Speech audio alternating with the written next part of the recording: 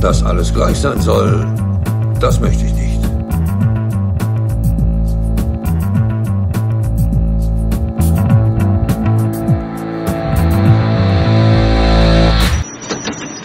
Achtung, Achtung. Hier spricht der Gleichsatzkanal. Sie werden äh, Zeuge einer Folge Nummer 36 äh, der berühmt-berüchtigten Philosophen-Trilogie Abstraktionen, Nominalismus, Sprachkritik. Am Apparat äh, wieder einmal euer Lokführer Hannibal äh, in der Version Halbschatten. Die Nummer 185 eröffnet die Folge 36 Felix Maria Goldner, Felix Goldner, der Begriff der Geltung bei Hermann Lotze.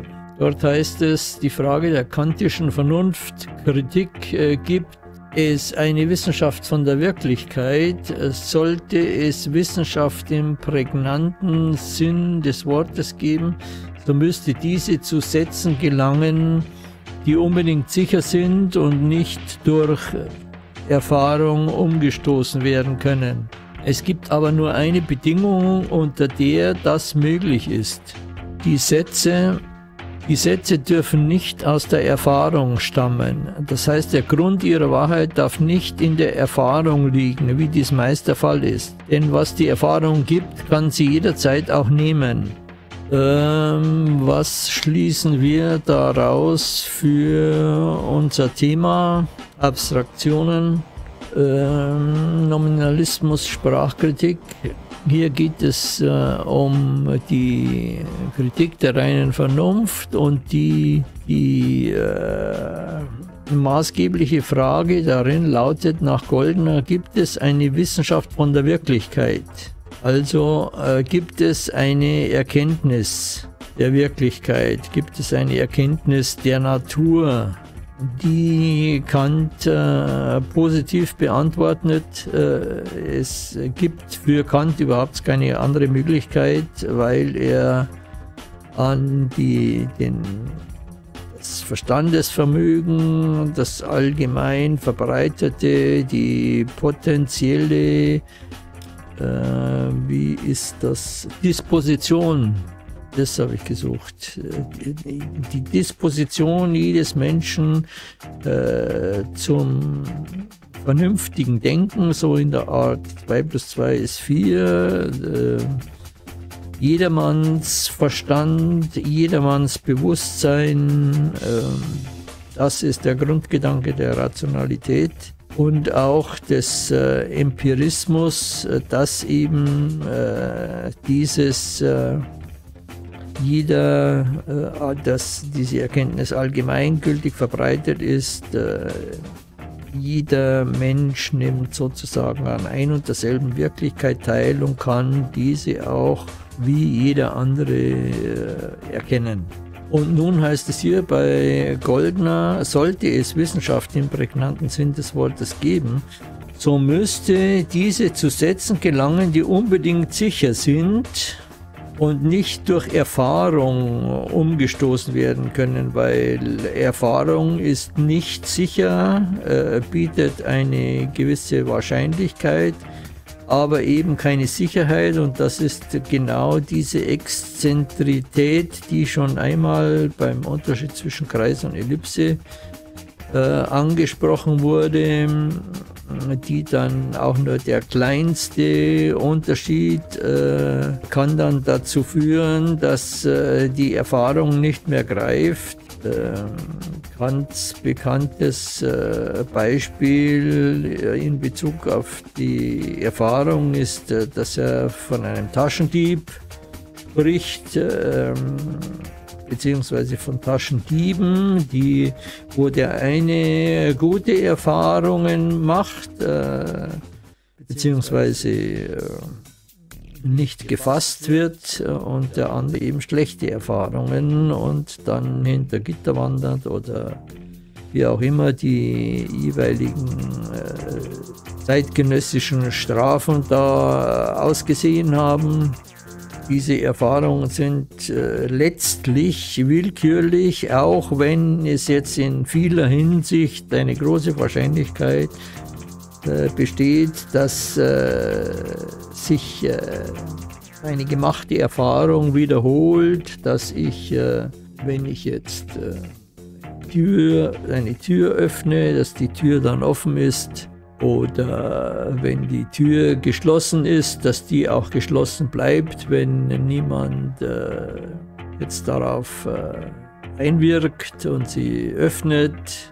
Also es gibt jede Menge Erfahrungen, die sich immer wieder wiederholen, aber es gibt dann äh, diese Erfahrungen, weil sie eben auf äh, Vergangenes rekurrieren, machen im Grunde genommen Neues unmöglich. Und wenn diese Erfahrungen so hundertprozentig immer äh, die Verhältnisse darstellen könnten, dann könnte es nichts Neues mehr geben. Also es müsste alles äh, deterministisch ablaufen und äh, in der Richtung äh, gilt dann auch Kants Ausspruch, dass äh, wenn das Ding an sich erkennbar wäre, also wenn es eine objektive Erkenntnis der Welt gäbe, dass es dann um die Freiheit geschehen wäre, also so dem Sinn nach. Äh, das ist der große Widerspruch und deswegen äh, ist auch peinlichst darauf zu achten, äh, wo diese Möglichkeiten liegen, ähm, äh, wo etwas nicht determiniert ist und äh, eine Notwendigkeit vorliegt, die keine ist, wo eine Allgemeingültigkeit behauptet wird, die keine ist. Denn äh, darin liegt die Freiheit gewissermaßen.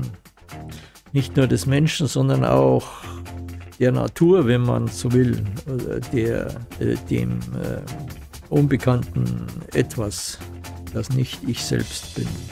Also nochmal zurück zu Goldner. Es gibt aber nur eine Bedingung, unter der das möglich ist. Ja, die Sätze dürfen nicht aus der Erfahrung stammen. Ja, da gibt es eigentlich nichts mehr weiter zu sagen. Die Erfahrung kann sie jederzeit wieder nehmen.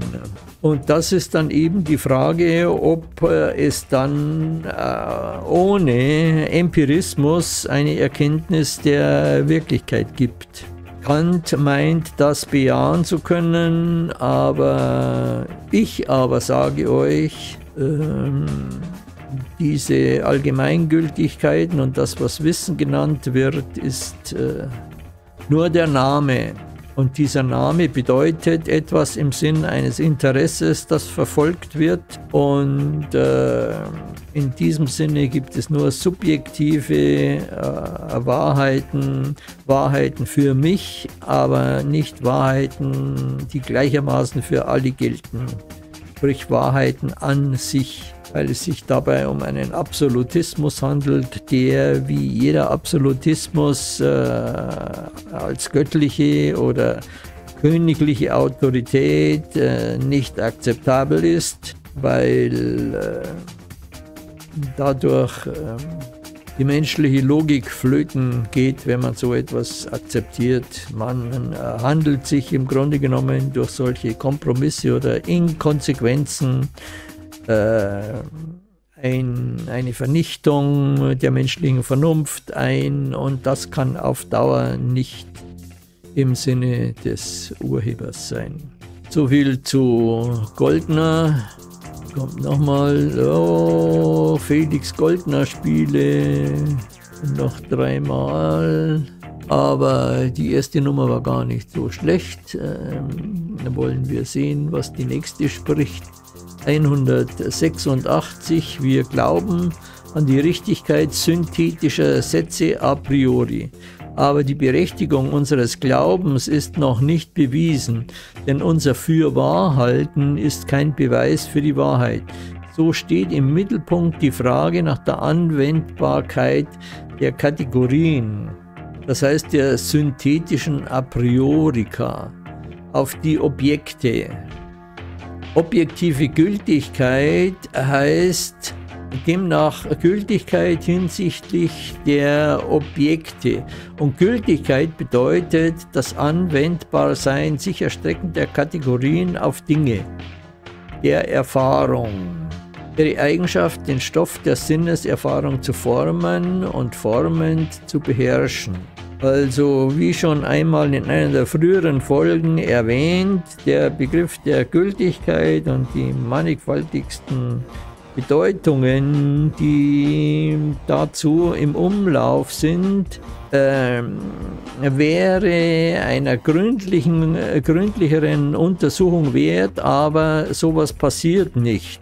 Es ist, äh, wird vereinzelt, wird etwas gearbeitet über äh, die Frage der Geltung, die, der Nebel in Bezug auf diese Art äh, der Verwendung dieses Begriffs äh, ist äh, immer noch undurchdringbar.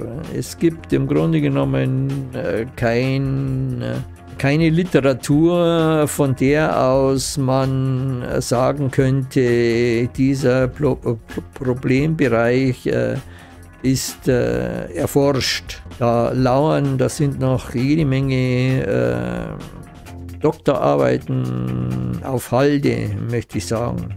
Denn der Begriff der Geltung ist nicht nur in sprachphilosophischer, äh, sprachpsychologischer Hinsicht äh, ein sehr wesentlicher, sondern auch in überhaupt in philosophischer und dann auch in äh, juristischer Hinsicht sowieso.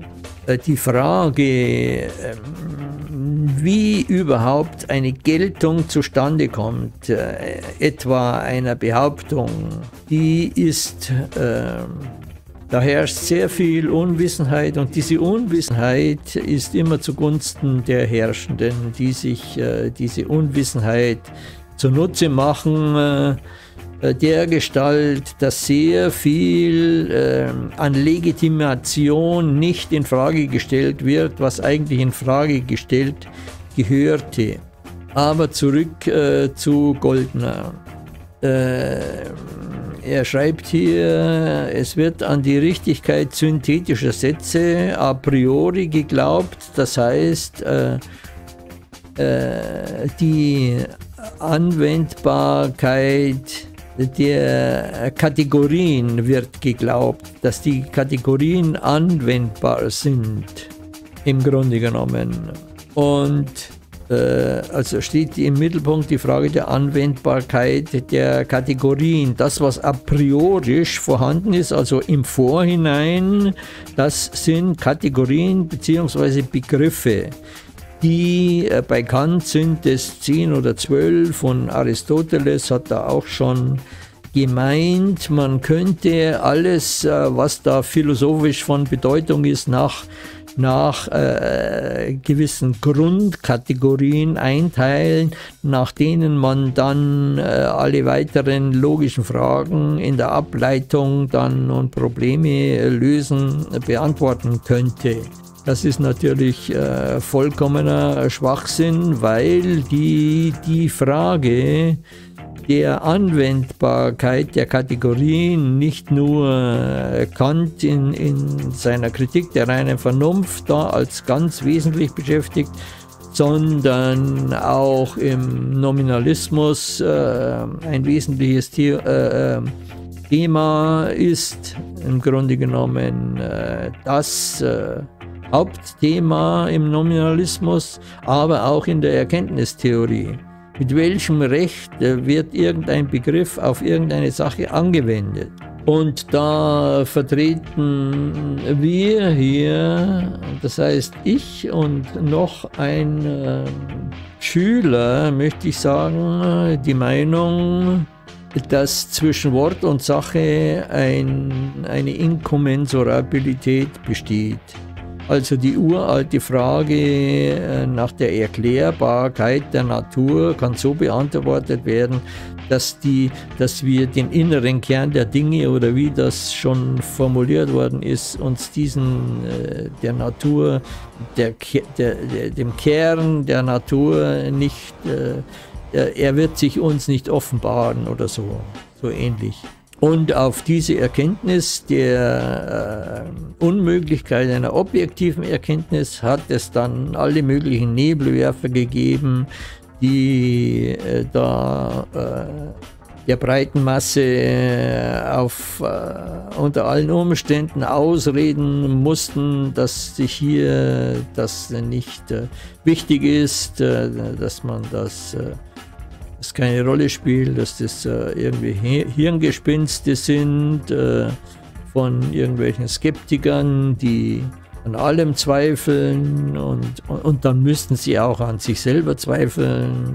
Solche Schlaumeier äh, sind dann ins Spiel gebracht worden. Ähm, die Frage steht nach wie vor und äh, kann mittlerweile mit gutem Gewissen der Gestalt beantwortet werden, dass die, alle diese Objekt Objektivitätsapostel ähm, auf dem Holzweg sind und es Zeit wird, diese Ära des allgemeingültigen An sich Wissens zu beenden, um sich mit mehr Erfolg den äh, drängenden gesellschaftlichen Problemen widmen zu können, um auch eine Logik zu haben, die äh, gegenüber allen möglichen bisherigen historischen, möchte ich schon fast sagen, Ideologien im Vorteil sind und die als äh, altes Eisen oder gar als äh, auf den Müllhaufen der Geschichte wandern lassen. Diese objektivistische äh, Logik, die äh, von 90 Prozent der Bevölkerung als Inbegriff äh, einer Vernunft äh, geglaubt wird. Also objektive Gültigkeit heißt demnach Gültigkeit hinsichtlich der Objekte und Gültigkeit bedeutet es anwendbar sein. Und dieses Anwendbarsein ist gar keine, gar keine Frage. Äh, sicher sind diese Kategorien anwendbar, aber nicht von einem erkenntnislogischen äh, äh Grund her, der, der sozusagen erkannt werden kann, sondern nur in Bezug auf einen bestimmten Zweck, der verfolgt wird, wird werden Begriffe gebraucht und dieser Zweck wird dann erfüllt, Bedürfnisse, Interessen werden befriedigt und äh, damit hat sich die Geschichte, das ist alles, was da erkannt werden kann, dass Leute ihre Interessen verfolgen und dass jeder seine eigene Meinung hat. Ein Recht auf eine äh, überindividuelle Wahrheit äh, gibt es nicht. Äh, das heißt, ist nicht mit äh, Gründen ähm, belegbar mit Gründen, die nicht äh, allen möglichen noch äh, besser begründeten Widersprüchen begegnen. Das heißt jetzt aber nicht, dass äh, der Beliebigkeit Tür und Tor geöffnet ist. Da sind wieder dann die Schlaumeier hier haben das Wort und werfen die Befürchtungen eines ausbrechenden Chaos und dergleichen in die Diskussion. Das ist alles äh, Blödsinn, dann braucht man sich nicht drum kümmern. Die Sache ist die, dass es darum geht, äh, ethische Normen äh, zu finden, die Rangfolge der Wertvorstellungen äh, zu erarbeiten, äh, möchte ich sagen. Und dazu gehört äh, auch ähm, vordringlich ein, ein Erziehungssystem, das die Leute auf ihre äh, demokratischen Pflichten vorbereitet, ihre Urteilskraft stärkt, äh, sodass dann äh, durch ein gemeinsames Votum, äh, das äh, von äh, qualifizierten Meinungen gebildet wird, dann eine Ordnung zustande kommt und auch äh, die entsprechenden, äh, wie das jetzt auch ist, äh, Machtmonopole dafür sorgen, dass diese Ordnung auch äh, befolgt wird aber eben mit ganz anderen äh, Prioritäten und äh, Vorrechten äh, in Bezug auf äh, einen äh, in Bezug auf eine menschlichere Gesellschaft, sage ich mal. Und was das alles sein soll, was das Menschsein bedeutet, das sind alles Fragen, die dann kontrolliert werden, äh, äh, die dann äh, mit denen man sich dann konfrontiert und äh, Widersprüche klärt. Äh, die Macht, die durch Geld äh, oder andere außervernünftige äh, Gründe da zustande gekommen ist, hat er dann in Zukunft auf alle Fälle äh, nicht mehr das Sagen, sondern ist nur ein Gesichtspunkt unter anderem, äh, der jetzt, äh, wo das jetzt nicht verteufelt wird in dem Sinn, sondern es äh, äh, wird, es findet sich alles auf seinem Platz, wo es hingehört so dass eine, eine praktikable und auch eine gerechte Ordnung, eine freiheitliche Ordnung zustande kommt. So schaut das aus. Äh, ich muss jetzt noch mal äh, fünf Minuten heißt es hier. Da geht noch was. Also nochmal zum letzten Mal für heute. Äh, Felix Goldner, äh, das Denken ist kein einfaches Hinnehmen des Wirklichen, kein passives Anschauen, sondern Tätigkeit. Jede Handlung des Denkens aber besteht in einem In-Beziehung setzen mindestens zweier Vorstellungen zueinander. Gleichsetzung und Unterscheidung zweier Inhalte können hierfür als äh, Beispiel dienen.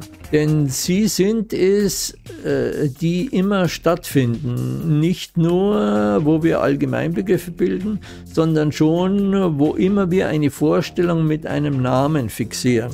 Also zu, äh, zuerst einmal, das ist auch eine der äh, grundlegenden Folgerungen, die äh, die Zerstörung, die Abschaffung der allgemeingültigen Logik mit sich bringt, dass das Denken als Subjektivität, als äh, Aktion, als äh, äh dass das Subjekt als Akteur verstanden wird. Denn äh, das Denken ist äh, kein einfaches Hinnehmen des Wirklichen in dem Sinne, dass etwas gegeben ist ähm, als Sinneserfahrung oder überhaupt Erfahrung, dass etwas gegeben ist, das ist kein Denken, ist kein einfaches Hinnehmen des Wirklichen und kein passives Anschauen der Gegenstände, wie das im äh, klassischen Empirismus äh, so gepredigt und praktiziert wird. Da, ja, das ist, findet alles vollkommen entsubjektiviert statt. Und verstehe ich äh, vom Subjekt her äh, nicht nur die Welt, sondern auch das Denken und das Bewusstsein äh, konsequent dann ist das klar, äh, allein schon bei, bei der Begriffsbildung.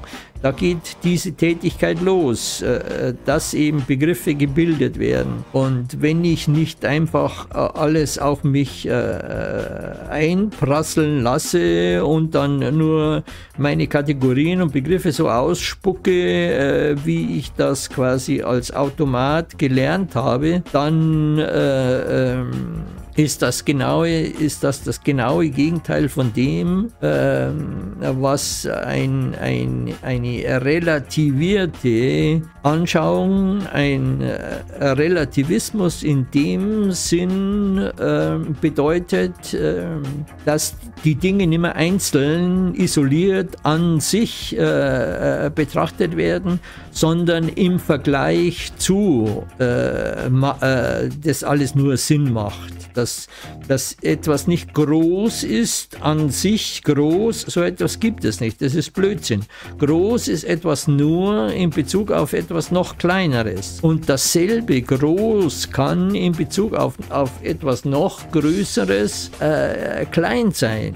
Und ich denke mal, äh, äh, so etwas, in dem Sinne bin ich dann auch der Meinung, dass man so etwas kapieren kann und dass, dass so etwas auch jemand, der noch nie von irgendetwas eine Ahnung gehabt hat, dass man ihm äh, das verständlich machen kann. Das ist jetzt aber ein, deswegen betrachte ich mich nicht als Rationalist, denn äh, es ist immer noch äh, so, dass jeder Einzelne das begreifen muss. Es gibt da nicht ein an sich Begreifen, das über allem schwebt und dem sich dann die Einzelnen dann äh, irgendwie da was äh, erkennen oder begreifen.